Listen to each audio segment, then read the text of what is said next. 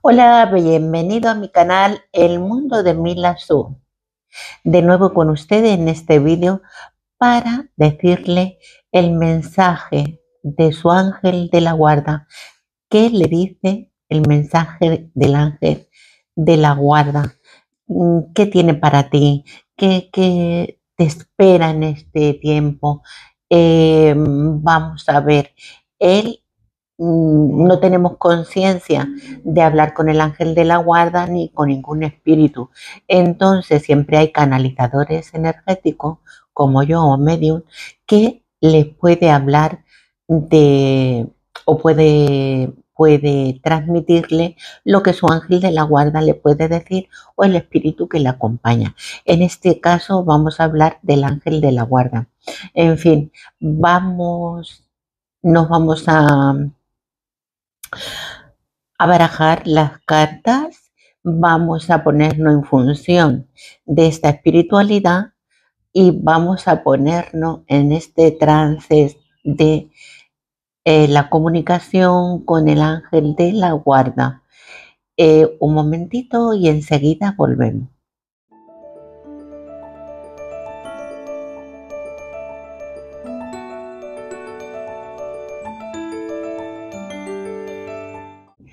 Vamos a ver qué te dice ese ángel de la guarda que está contigo.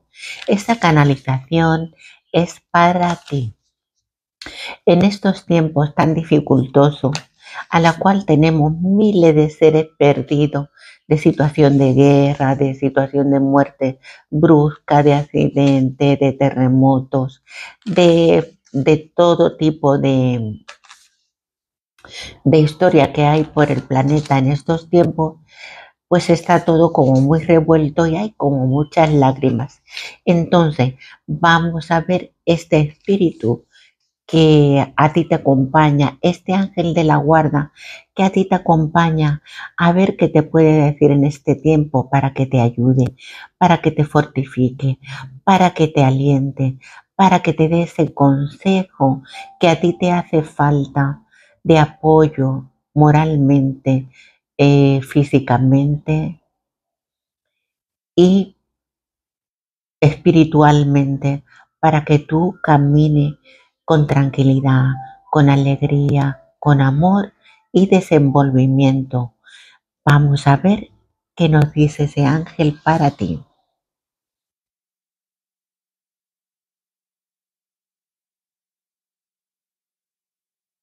Visto cómo se ha movido esta?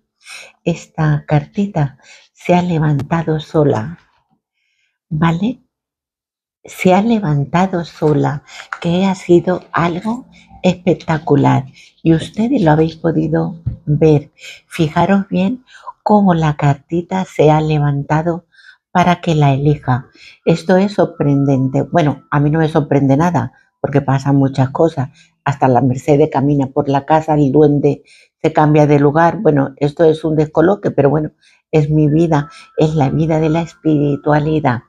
Mira, aquí te dicen que te libere de las envidias, que era una persona que, que te envidia no por lo que tengas, sino porque como tú eres, tu energía, tu manera de, tu manera de caminar, tu manera de reír, tu manera de hablar, tu manera de estar te envidia no es porque tengas más ni porque tengas menos, sino por tu energía, por esa energía que tú tienes de lucidez, de, alegría, de optimismo. Eres una persona que, eh, eres una persona elevada, eres una persona que tiene una espiritualidad, una espiritualidad distinta a las demás.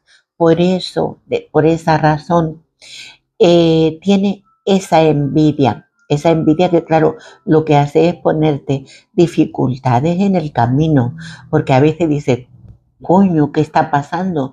Pues si yo no me meto con nadie, pues si yo eh, estoy tranquila, si voy simplemente a mi rollo, a mi, a mi bola, a mi manera de ser, a mi trabajo, a mi, pues nada, eh, tenemos esos tropiezos en la vida de la envidia, no de alguien pues mm, exactamente de, pues mira, de, de, tu entorno, de tu alrededor, de un hijo mismo porque quiera ser igual que tú, pues ya tiene la cosa torcida. Quiero decir que según como esté en tu casa el ambiente, también va a estar tú. Si hay alguien de la casa que está triste o está preocupado o se ha levantado con mal día, también te influye a ti. ¿Por qué? Por la espiritualidad que tú tienes y por la manera de ser. Entonces se te mueven los espíritus, se te mueve ese ángel de la guarda para darle cobijo también a esa persona o a esa a esa persona de la familia, a ese hijo, a ese hermano, a esa madre, a esa personita que esté contigo. Entonces, eh, a ti te mueve, te mueve todo eso y ya de alguna manera te cambia el día. Entonces, lo que tiene que estar es firme y seguro, firme y seguro con esa situación en la cual pueda cambiarte. Hay un dicho que dice, hoy me levanté con mal pie. No, no, caballero, no, no hay ningún mal pie. Em, lo mismo es el, el pie bueno, el izquierdo, como el derecho es la situación a la cual nos encontramos, porque nosotros no vivimos solos, sino que siempre tenemos un familiar alrededor nuestro, o una amistad, o, en la casa con, con quien convivimos. Y cada uno tiene su personalidad, su energía y su camino. Quiero decir que nosotros tenemos que estar firmes en la vida. Entonces, nada más que uno abre los ojos, da gracias a Dios y da gracias a ese ángel de la guarda y da gracias a esos espíritus para que te encamine, para que eh, te levantes bien, te levante bien hacia ese día, hacia ese nuevo día que comienza para ti, para tu espiritualidad, para tu trabajo y para tu día a día y para tu entorno. Porque claro, es muy complicado en estos tiempos, pues estar bien, estar bien y tener una buena situación, no solamente por nosotros, sino por todo el ambiente. Incluso eh, estamos comiendo y estamos absorbiendo pues, las noticias. Siempre hay alguien que te, que te da un, una noticia mala o, está viendo la tele. Yo les digo que cuando estéis comiendo no tengáis puesto noticia, que tengáis puesto música. Música para ambientar un poco eh, la estancia, ¿verdad? Y para, para no cogernos ningún mal rollo, porque estamos comiendo, entonces nos estamos alimentando con guerra e infortunio. Y eso también nos trastorna a nosotros. ¿Por qué? Porque ese ángel de la guarda que está contigo, esa espiritualidad, absorbe todo eso y ya no eres tú, sino que estás canalizando esa energía de tristeza, porque tu ángel de la guarda se entristece. Y claro, ya te cambia totalmente la situación, ya no te sienta bien la comida, ya eh, te deja un poco así cabezbaja, porque aunque tú no lo creas, es el subconsciente. Eh, es esa espiritualidad la que está trabajando por ti. Entonces, si sin darte cuenta, tú dices, pues, pues me he puesto de pronto, de pronto, me he puesto triste. ¿Por qué? Bueno, pues es por esa situación, porque tu ángel de la guarda, tu espiritualidad, está absorbiendo toda esa situación a la cual nos hace estar con una sensibilidad extrema y claro, nosotros también la trasladamos al físico y ¿qué pasa aquí presente?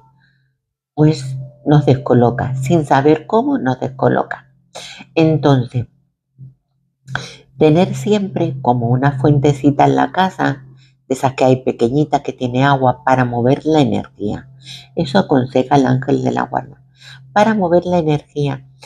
Eh, o un vaso de agua si estamos comiendo un vaso de agua aparte para ese espíritu que te acompaña o para esa espiritualidad. Eh, un vaso de agua en la mesita de noche para que toda esa energía que se mueve, porque hay gente que también trabaja por la noche a las personas o hay pensamientos mm, no muy buenos para nosotros. Entonces vamos a poner ese agua, ese vaso de agua de, de canalizador para que, o de conductor, no más bien de conductor, para que nosotros tengamos buena noche, para que descansemos, para que estemos relajados y para que, para que estemos bien. Entonces, si, si tu ángel de la guarda puede estar siempre bien, imparcial, siempre dándonos esa tranquilidad, ese asentamiento, esa armonía y todo esto que nosotros necesitamos, nosotros también podemos. Vamos a tener la precaución de estas pequeñas cosas como este vaso de agua, un incienso, para que esa espiritualidad como un agradecimiento y para que esa espiritualidad ponga orden en nuestra vida, porque el ángel de la guarda está para nosotros, para conducirnos aquí y ahora. Entonces, en estos momentos que nosotros nos levantamos, vamos a tener esa precaución de darle las gracias por el nuevo día y por todo lo todo ese día que vamos a pasar que nos podemos trastornar 40 veces. Porque son muchas cosas mucha película la que está montada. La gente está inestable y mal por todo lo que está pasando y nosotros mismos, claro. Entonces vamos a tener esa precaución de tener ese, ese vasito de agua para que así canalicemos y estemos como un hilo conductor para que ese día y todos los siguientes sean agradables y que cualquier problema que podamos tener, el ángel de la guarda no lo corrija, no lo aplaque, porque a veces nos tenemos que caer pero que nos ayude a levantar con optimismo y con alegría y sobre todo con amor. Entonces, mis corazones, este mensaje es para la tranquilidad de nosotros mismos, la tranquilidad tuya, porque sabe que esta canalización es para ti, para la persona que está viendo este video.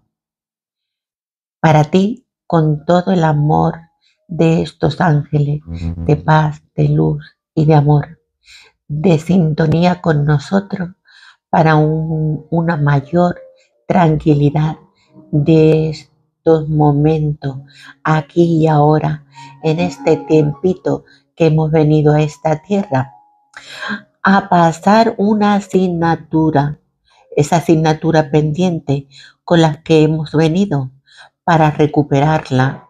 Es una asignatura de vida a la cual hemos venido para que nosotros aprobemos ese curso que fue la vida anterior y que nos dejó con esa asignatura pendiente para venir la próxima vida con estabilidad, alegría y con la lección aprendida.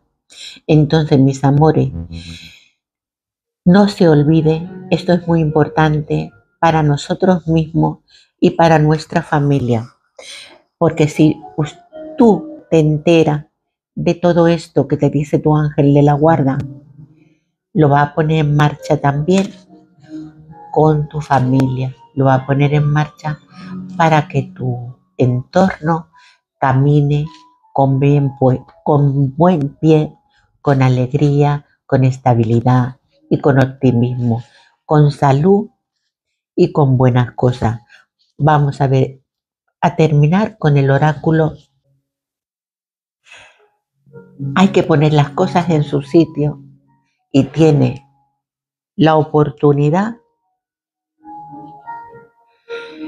tiene la oportunidad de ser feliz, tiene la oportunidad de poner todas las cosas en su sitio, tiene la oportunidad aquí y ahora de establecer un hilo conductor con tu ángel de la guarda para que te ayude a encaminar, para que te ayude en este tiempo y, que te dé esa alegría, esa estabilidad y esa buena vibra que tú estás necesitando en estos momentos, en el aquí y ahora, para resolver y quitar todas esas malas situaciones a la cual está a, a la cual al igual que está pasando por este momento. Todo el mundo igual nos va a poner en su sitio todas las situaciones a la cual tenemos aquí y ahora en estos momentos para librarnos de todo lo negativo. Así que mis corazones, hacer caso a su ángel de la guarda, eh, pide la bendición, poner todo esto que le está comunicando para que se libre de toda esa lucha y para que usted lo que le queda de su vida viva feliz, en paz y armonía por destino aquí y ahora. Que la bendición del Cristo os ilumine, que la bendición del Cristo os acompañe y que la bendición del Cristo le dé felicidad, armonía, salud y todas las cosas buenas de este mundo. Bendiciones, mis amores.